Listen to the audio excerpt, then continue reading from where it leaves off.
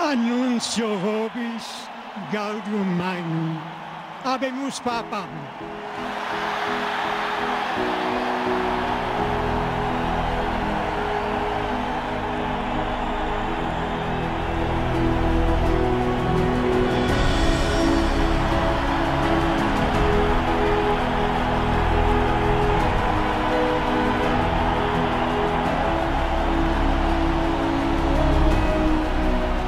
Voi sapete che il dovere del conclave era di dare un vescovo a Roma.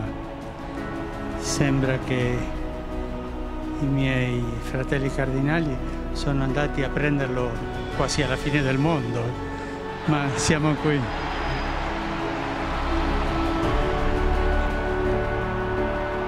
Church that will not stay still, a non static church. We can be sure that this will be the church of Pope Francis. Eso lo ha This has always set Bergoglio apart. A great Jesuit, a man of excellent formation. Above all, he is a man of action. If we read Pope Francis's writings, we're going to always see this concern with going to the frontiers of poverty, of exclusion, and of those who are furthest from God. Él siempre fue una persona que tuvo mucho. He was always a person who had a lot of courage and plenty of bravery to stand before the powerful and say what he thought. The voice of those who had no voice. That was Cardinal Bergoglio. El cardenal Bergoglio. un hombre, una especie de A man who is kind of a desert saint and a great and brilliant administrator. The combination of these two characteristics is not very common. Pope Francis. Life has been exemplary in precisely the type of personal witness that the new evangelization calls for. He becomes a model for millions of Catholics around the world today.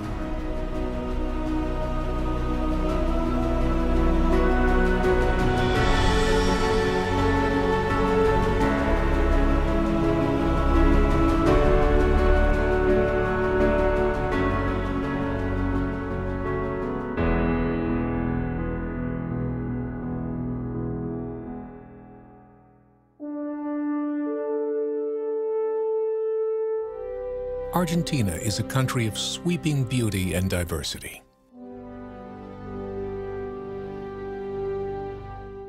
Here you will find some of the world's tallest mountains, largest prairies, and breathtaking waterfalls.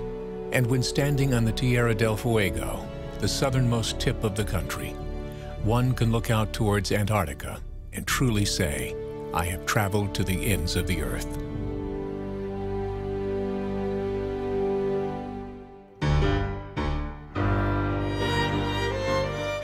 But the cultural heart of Argentina is Buenos Aires, known as the Paris of South America.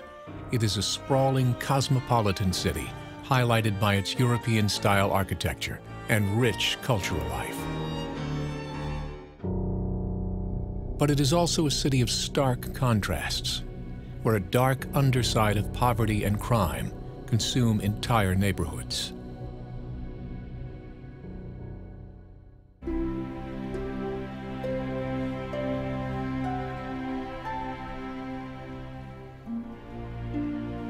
In the 20th century, millions of immigrants arrived on these shores, seeking a better life.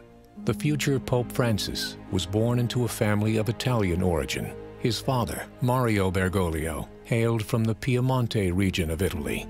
He and his wife Regina settled into Barrio Flores, a teeming neighborhood of immigrants. They raised their family of five children in this home. He was a regular boy. He didn't stand out in any remarkable way. He was very polite, very neat. He went to a public school.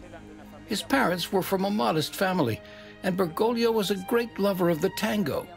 He was a passionate fan of the tango stars Carlos Gardel and Ada Falcón.